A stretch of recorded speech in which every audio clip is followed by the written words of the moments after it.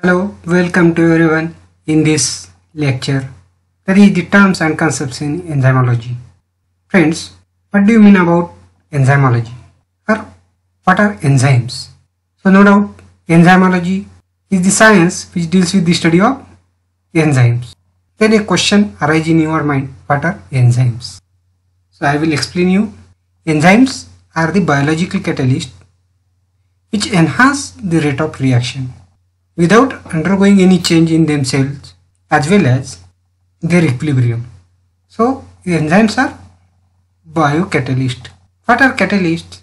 Catalysts are the substances which increase the rate of reaction. These catalysts may be metals, these catalysts may be proteins, these catalysts may be nucleic acid or they may have other natures. But all catalysts have a property to increase the rate of reaction. So enzymes are biocatalysts. Means that they are obtained from biological entity, they are obtained from organism. So now you have clear that enzymes are obtained from biological entities. The spontaneous reactions, that means the natural reactions without any catalysts are very slow and in our body or in body of any organism the reactions must be takes place very rapidly. So these biocatalysts or these enzymes increase the rate of reaction, enhance the rate of reaction. These enzymes does not undergo any change in their structure. It does not mean that their structure is not altered at all. They alter their structure during the reactions. But after completion of the reaction, the initial structure and the final structure will be the same. That means in the reaction they are not reactants. They involve only to enhance the reaction. They involve only to increase the rate of reaction. So enzymes are basically proteins. They are in, they are folded in tertiary or quaternary structure. You have already learned what is tertiary and quaternary structure of protein. These are nothing but superfoldings of amino acid sequence, superfolding of a protein or a structural hierarchy in which protein is superfolded. So if enzyme is made up of single polypeptide, then that enzyme is called as oligomeric enzyme. And if the enzyme is made up of many polypeptides or many subunits, they are called as multimeric or oligomeric enzyme. So enzymes are the biological catalyst which enhance the rate of reaction without undergoing any change in themselves and their equilibrium. We'll see what is equilibrium later. Now we'll see other terms which are related with these enzymes. The second and most important term is substrate. Substrates are the chemical compounds or reactants which actually involve in the reaction. So the change which is taking place in the reaction is in the substrate, is in the reactant and not in the enzyme. So this substrate binds to the enzyme. Substrate does not bind to the enzymes randomly but there are some sites on the enzymes which are made for binding of substrate. Only at that site or only to that particular amino acids this substrate can bind.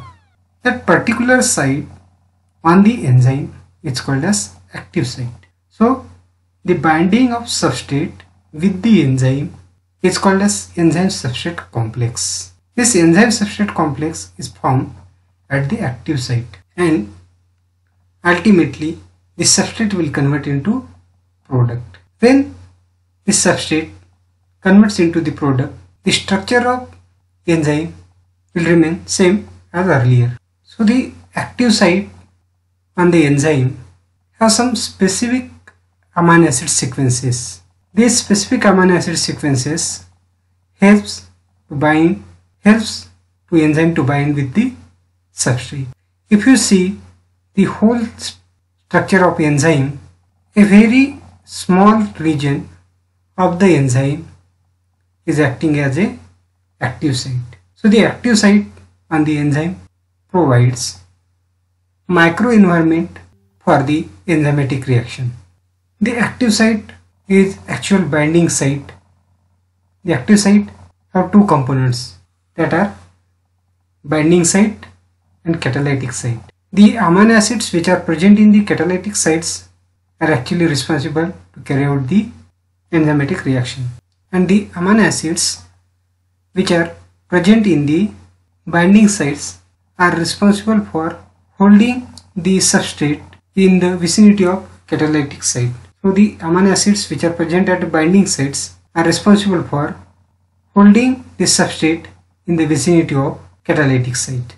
So this catalytic site and binding site constitutively makes active site. Now no doubt most of the enzymes are protein in nature but enzymes needs some other accessory materials to carry out the reaction. If these substances are absent, then that enzyme may not carry out the reaction. All enzyme does not require these substances, but most of the enzymes are depends on these substances which are non-proteinous in nature. That means enzyme is made up of protein and, and these substances are non-proteinous. So these substances which are non-proteinaceous are called as cofactor or coenzyme. So when to use term cofactor and when to use term coenzyme. If these substances are metallic in nature then they are called as cofactor and if these substances are organic compounds or organometallic compounds then at that time they are called as coenzymes. So if sodium, calcium, potassium, magnesium, these metals helps the enzyme to carry out the reaction, then these metals are called as cofactor in that enzymatic reaction. Whereas if they are organic compounds like NAD, FAD, thiamine pyrophosphate, biotin or any other organic compound, at that time these compounds are called as coenzyme of that particular enzymatic reaction. So the protein part of such enzyme is called as apoenzyme and apoenzyme with coenzyme or cofactor is called as holoenzyme. Most of the times if the enzyme is attached with a particular metal then such enzymes are called as metalloenzymes or metal activated enzymes. Many times these non-proteinous compounds bound to the enzyme so tightly that it is very difficult to remove these compounds by any simple mechanical process. Means that these compounds are covalently or tightly bound to the enzymes. At that time they are called as prosthetic group. So if a cofactor or a coenzyme covalently binds to the or tightly bonds to the enzyme or apoenzyme in the holoenzyme then that cofactor or coenzyme is called as prosthetic group. Most of the enzymes perform their functions in the presence of cofactor or coenzymes. But there are some enzymes which are synthesized in our body completely in the inactive form and they become active in some circumstances or in some conditions or in the presence of some extrinsic environmental external factors. So such inactive enzymes are called as zymogen or proenzymes. So most of the proteolytic enzymes are synthesized in our body in the form of zymogen. For example, pepsin is synthesized in the form of pepsinogen, trypsin in the form of trypsinogen, and carboxypeptidase in the form of procarboxypeptidase A or B. So these enzymes have a particular region which restricts this enzyme from performing a particular reaction. But some extrinsic factor are responsible for removing that particular region and the enzyme will become active. For example, in the presence of proteins, the pepsinogen protein, inactive pepsinogen will convert into pepsin, chymotrypsinogen into chymotrypsin or procarboxypeptidase into carboxypeptidase or carboxypeptidase B. So here we will see how the enzymatic reaction is taking place. This is the initial state of a reactant. This line or this y-axis indicates free energy. Free energy is the energy which is available to do work. So this is the position of energy of a reactant at which that reactant is stable. The reactant will convert into the product only when reactant or that substrate gains some energy and that energy which is required to carry out this reaction that energy is called as activation energy. Activation energy can be calculated as the energy of a transition state of a substrate minus the energy of a ground state of that substrate. The transition state means when the reactants come in the vicinity or in the approximation of each other that state is called as transition state. So the activation energy is the energy which is required to carry out the substrates or reactants in approximation of each other or in the vicinity of each other. So what happens in the enzymatic reaction?